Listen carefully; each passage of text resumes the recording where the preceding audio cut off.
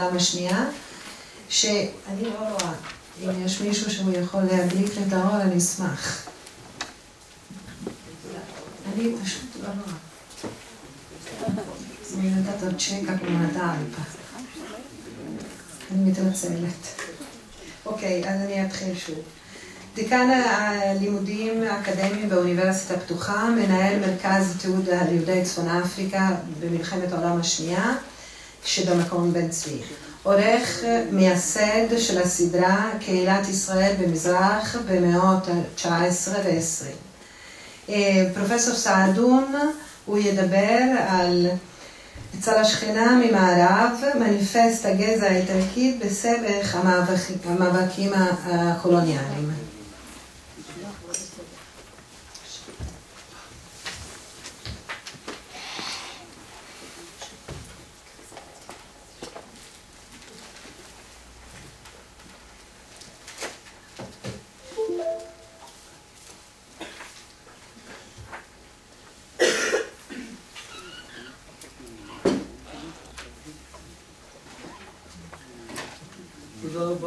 פרופסור קונסולי. אני אחלק את ההרצאה שלי לשלושה חלקים, אני אעבור בקצרה וברפרוף על ההתפתחות של הרעיון של הקולוניאליזם האיטלקי, בעיקר על השלבים, תוך ניסיון להתמקד בתקופה של בין שתי מלחמות עולם, בעיקר בשנות ה-30. לאחר מכן אני אדבר קצת על האיטלקים בתוניסיה והמשמעות של ההתפתחות איטלקים צרפתים. לאחר מכן אני אעבור לדבר על ה... יהודים האיטלקים בתוניסיה והמשמעות של זה ליחסים, ובשניהם אני אנסה להראות את ההשפעה שהייתה למניפסט הגזע האיטלקי.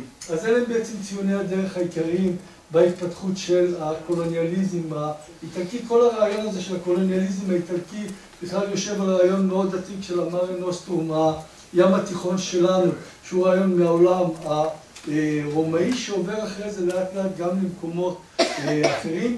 במאות ה-13, 14, 15, 16 הנסיכויות השונות של איטליה מנהלות את המסחר ברחבי הים התיכון. לפחות הנסיכות של ליבון היא חשובה מאוד לעניינים שנדבר עליהם לאחר מכן בהמשך, אבל הנושא הזה של הים התיכון ממשיך לתפוס מקום בפעילות של האיטלקים.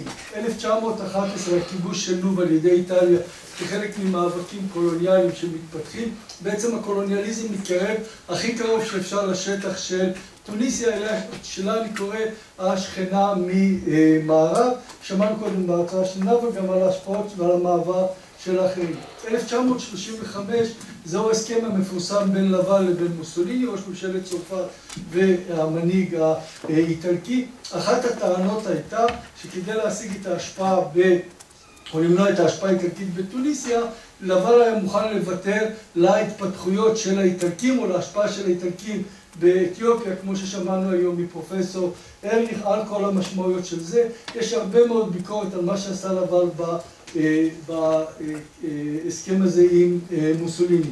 1935 הכיבוש של אתיופיה, על המשמעות הכיבוש הזה נמשך הרבה מאוד זמן, נמשך למעלה משנה. שמענו היום את המשמעויות של הביטויים של זה לגבי הצעדים המכינים של מלחמת העולם השנייה, ולאחר מכן יבוא ציר רומא ברלין ב-1936 בין מוסוליני לבין היטלר, על המשמעויות שיש לו לאחר מכן. הנושא של מניפסט הגזע מגיע רק בשלב המאוחר יותר. העניין של הסיפור שלנו, של המניפסט בשכנה ממערב, מתחיל בעובדה שבתוניסיה יש קהילה איטלקית חזקה מאוד, משמעותית מאוד. זאת קהילה שמתפתחת החל מסוף המאה ה-16, היא נמצאת, כפי שאני אראה לכם עכשיו, במאבק דמוגרפי מאוד משמעותי עם האוכלוסייה הצרפתית שמתפתחת בתוניסיה. היהודים האיטלקים משרתים בצבא האיטלקי, גם במהלך כיבוש לוב, גם באתיופיה, יש לנו אחרי זה אנשים שכותבים על הנושא הזה למוסוליני. הנאמנות שלהם לפשיזם בתוניסיה, לפשיזם האיטלקי של מוסוליני, אבל הנאמנות שלהם בתוניסיה היא ממש מוחלטת, ויש להם גם תרומה כלכלית מאוד חשובה בתוניסיה, אבל לאיטליה, התארגנות פוליטית וחברתית. בואו נראה את מה שאמרתי בנתונים. תסתכלו על הנתונים שיש כאן, על ההתפתחות הדמוגרפית של האיטלקים בתוניסיה, לפחות עד 1936, זאת קהילה שצומחת כמעט פי חמש. גם הצרפתים במקביל צומחים, ורק בשנת 1936 הם מתקרבים לשוויון בינם לבין האיטלקים. לאחר המלחמה כוחם של הצרפתים יהיה כמובן חזק יותר ומשמעותי יותר מבחינה דמוגרפית. אבל המאבק הזה בין צרפתים לבין איטלקים ממשיך. מדובר פה על אזרחים צרפתים שמגיעים לתוניסיה, לא על אנשים שמקבלים אזרחות.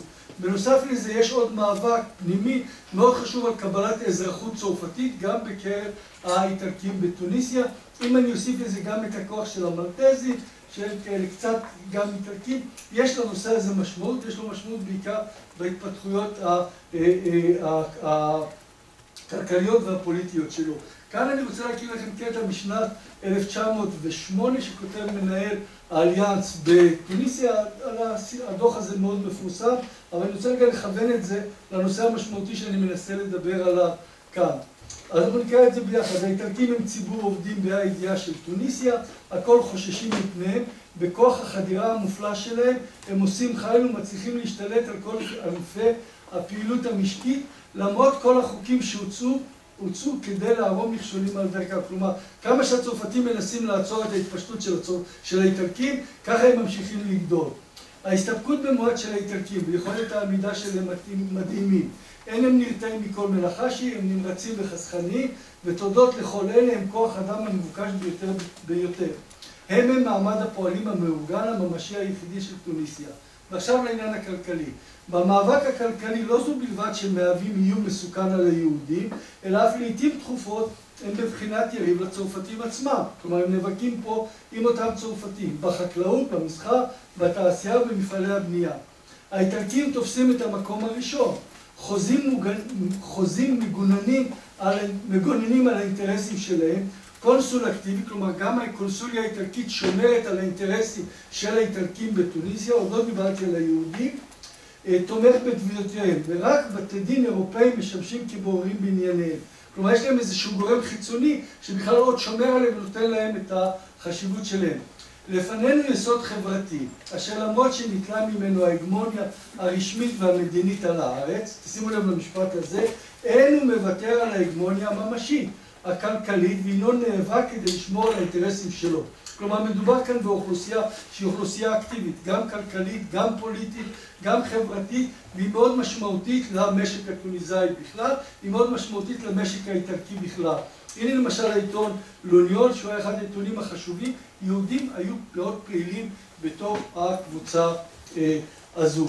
בואו נעבור ונסתכל רגע על היהודים האיטלקים בתוניסיה. ובכן, היהודים האיטלקים בתוניסיה מגיעים לתוניסיה יחד עם האיטלקים, הם לא מגיעים לבד, כלומר החל מהמאה, סוף המאה ה-16, מה שנקרא הצו המפורסם של הליבורנינה, הם מגיעים לתוניסיה, יושבים בתוניסיה ומפתחים, הם נשארים שם כקהילה עצמאית. רק בשנת 1710 הם חותמים, נקרא לזה על מן הכרה, הסכמה עם הקהילה היהודית הטוניסאית, בכך שיכירו בהם כקבוצה נפרדת בחיים החברתיים והדתיים של יהודי טוניסיה. הנושא של שאלת האזרחות הצרפתית מאוד משמעותית, אני מיד ארחיב על הנושא הזה. הם מגבשים זהות פוליטית, תרבותית, איטלקית משלהם, לא רק, לא רק דתית של הגן, אלא גם יש להם זהות פוליטית משלהם. הם מעורבים מאוד בהנהגת הקהילה, אני אראה לכם מספר תמונות, אבל גם בקרב היהודים האיטלקים, אני גם אציג לכם את זה מיד, הם נאמנים באופן מוחלט למוסוליני. לא ציונות ולא זרמים אחרים, אלא יש פה נאמנות מוחלטת, והם כמובן עמוד התווך של הכלכלה האיטלקית. בואו נסתכל רגע על הנתונים ועל המשמעות שלהם כאן. ההטבה שאתם רואים לפניכם נותנת לכם את ההתאזרחות של ההתאזרחות הצרפתית בתוניסיה. בתוניסיה, בשונה מאלג'יריה, צו קרמיה המפורסם, יהודים איטלקים היו צריכים להגיש בקשה לקבל אזרחות צרפתית, ומי שקיבל את האישור היה מקבל את האזרחות. כלומר, היו מגישים, ופה מה שאנחנו רואים, מגישים את הבקשה ומקבלים אישור, ופה אנחנו רואים את מספר הבקשות. תראו את הבקשות של האיטלקים, כמה הן עולות, זה לפי השנים כמובן, עולות בשנים האלה 24-28, זה נובע כתוצאה מחוק שנקרא חוק מורינו בתוניסיה, בשנות ה-30, כלומר כשאנחנו נמצאים עדיין בשיאו של הפשיזם, כלומר מ-29 עד 33, סליחה, לא בשיאו של הפשיזם, בעיצומו של הפשיזם, הם עדיין ממשיכים לבקש אזרחות צרפתית כחלק מתוך המאבק עם החברה הצרפתית בתוניסיה, ובשנים ה-34-38 המספרים כמובן יורדים. זה סך הכל המתאזרחים. האיטלקים, יש להם את החלק המשמעותי ביותר בין כל המתאזרחים בתוניסיה, וליהודים יש את המקום השני בין המתאזרחים בתוניסיה. גם כאן מספר היהודים שמתאזרחים הוא מאוד משמעותי, מדובר על כעשרה אחוז מהאוכלוסייה היהודית. מה שאנחנו לא יודעים מתוך הנתונים האלה, זה כמה מבין היהודים האיטלקים מבקשים את האזרחות הצרפתית וגם מקבלים אותה. זה האינטרס צרפתי מובהק שיתנו להם את האזרחות הצרפתית. התיקים בארכיונים לא נותנים לנו אפשרות לגשת שמית לתיקים של בקשת האזרחות, ולכן קשה לנו מאוד לדעת את זה. מה המשמעות של מה שאמרתי עד עכשיו? המשמעות היא שבתוניסיה ליהודים יש שלושה מעמדים משפטיים שונים. יש לנו יהודים שהם טוניסאים, כלומר שהם לא קיבלו אזרחות, יש לנו את היהודים האיטלקים שהם כחמישה אחוז, ויש לנו את היהודים הצרפתיים שהם כשנים עשר אחוז מהאוכלוסייה. אבל כאן נוצר הדבר המעניין, וזה שיש מתח תחשבו על זה כך, בין איטליה לבין צרפת, יש מתח בין האיטלקים בתוניסיה לבין הצרפתים בתוניסיה, יש מתח פוליטי ביניהם לגבי השאיפות, כי כל אחד שואף לשלוט על תוניסיה, אבל יש גם מתח בקרב היהודים האיטלקים מצד אחד, היהודים הצרפתים מצד אחד. איפה המתחים האלה פחות באים לידי ביטוי? כאשר הם מצליחים להגיע למפלגות ומשותפים במפלגות שהן מפלגות בעלי אופי יותר בינלאומי, למשל במפלגה הקומוניסטית ובמפלגה הסוציאליסטית. בתוניסיה, בקרב הקהילה היהודית בתוניסיה, המאבקים האלה הם משמעותיים, זה לא מאבקים על הנייר, משום שבתוניסיה מתקיימות משנת 1920 בחירות להנהגת הקהילה היהודית. והצרפתים, כדי לנסות לשמור או לאחד קצת יותר, לטשטש את ההבדלים בין הקהילה האיטלקית לקהילה היהודית האחרת, מקיימים בחירות נפרדות בקרב כל אחת מהקבוצות. יש בחירות נפרדות ליהודים הטוניסאים, כולל הצרפתים, ובחירות נפרדות ליהודים האיטלקים. בסופו של דבר מאחדים את שתי הרשימות ורואים מי נבחר. 15% לאיטלקים ו-85% ליהודים הטוניסאים. כלומר, אלה בחירות משמעותיות כל ארבע שנים. יש לי כמה תמונות מתהליכים של בחירות ומאבקים פוליטיים שיש בתוניסיה. כלומר, אלה לא סתם דברים, אלא אלה מאבקים ממש, זה בתוך בית הספר של האליאנס בתוניסיה. יהודים שחברים אלי כהן אדריה, חברים במפלגה הקומוניסטית בצורה, הסוציאליסטית, סליחה, בצורה מאוד ברורה. כך שהמאבק הזה בין בתוך החברה היהודית, בין יהודים איטלקים ליהודים צרפתים קיים, והוא משקף גם את המאבק שקיים בתוך החברה הכללית. שניים שלושה דברים על הכוח של היהודים בכלכלה, היהודים בתוך השוק. עכשיו בואו נראה מה קרה לאחר שפורסם הצו של המניפסט הקומוניסטי. זה דוח שלקוח מ-1939 של אחד המורים בבית, בבית הספר בתוניס, שמתאר את המצב שקרה בתוניס. הוא אומר, עם עליית הפשיזם הצטרפה המושבה היהודית האיטלקית, ורובה ככולה לתנועה זו. אינני מכיר יהודים אנטי-פשיסטים בתוניסיה. כולם הוכיחו חד משמעית בעובדות שאין להכחישם את נאמנותם למשטר החדש. כולם מסרו אפילו את טבעות הנישואים שלהם, כן? הסמל, כן? היקרות והמקודשות מכל, לאחר שמוסליני נזקק לכסף וביקש קורבן זה מעמו. ושימו לב עכשיו לביטויים, כיצד הוא נכנס לתאר את התרומה של היהודים באיטליה, סליחה, בתוניסיה, היהודים האיטלקיים בתוניסיה לחברה. מי תרם לבנייתו של בית החולים האיטלקי? יהודים. מי תרם סכומי כסף ניכרים להקמת בניין הדנטה אליגיירי, לבית הקונסוליה, לדואפולמורו, לבית היתומים, פרינצ'פה דה פיאמונטה, לפנימייה, אל פינטו איטליאנו, למעון אזילו גריבלטי, כולם זה יהודים. מי תרם מגרש ששוויו מיליון וחצי פרנקים להקמת הקאזה איטליאנה? יהודי.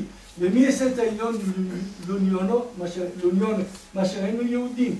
מתוך כנראה 25 רופאים ששירתו בהתנדבות בשירותי בית החולים האיטלקי, כמה יהודים היו? 18.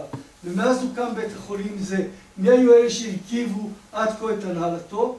הנה בתמורה לכל תרומותיהם וקורבנותיהם, נישלו אותם, גירשו אותם מהמולדת, שאליה התקשרו בקשר של דם, במנטליות ובלב. כלומר, התמיכה של היהודים האיטלקים בתוניסיה, לפי הדוח הזה, היא בהחלט תרומה מאוד משמעותית, אבל גם האכזבה הגדולה, ואנחנו נראה את זה מיד, היא מאוד משמעותית. חלק מהבעיה שלנו כחוקרים זה היה להגיע אל המקורות שנמצאים גם בתוניסיה וגם בארכיונים איטלקיים ולהבין את זה יותר. ממש לפני ימים אחדים קיבלתי מחקר שכתב חוקר איטלקי מרטינו אופיצי, ממש מחקר מצוין חדש אצל פרופסור דלה ביאנקה בסיינה ואצל חוקרת בצרפת, שבעצם צריך להגיע למסמכים והוא מתחיל עכשיו לתאר לנו בצורה יותר משמעותית את ההתפתחות של הקהילה היהודית האיטלקית בתוניסיה וכמובן מה שמעניין אותנו בהרצאה זה הקשר הזה אל המניפסטו ואל המשמעות שלו. ובואו נראה כרגע את ההשפעה של המניפסטו, ופה זה בא לידי ביטוי בכל תחומי החיים, מעין כבעצם הקדמה למה שיקרה אחרי זה גם בתקופת וישי. הפעלתם של החוקים האנטישמיים גרמה לפיטוריהם של רופאים יהודים מבית החולים האיטלקי, של פקידים יהודים מהקונסוליה, של מורים יהודים מהגימנסיות ומבתי הספר, של פקידי חברות גדולות ומנהלות איטלקיות. אמנם הודות לחסות שניתן להם הדגל, נותן להם הדגל הצרפתי, סליחה, לא סבלו היהודים האיטלקיים בתוניסיה במידת סבלה של אחיהם באיטליה גופה. אולם החוקים של מוסוליני פגעו בכבוד של כולם. נראה לי שזו הנקודה המשמעותית, בעיקר בגלל שזה היה קצר. לכן הגיבו במחווה אצילית על ההתקפה שנעשתה נגד אחיהם באיטליה. עם פרסום הצו הראשון, הגישו רופאים רבים את התפטרותם מבית החולים האיטלקי.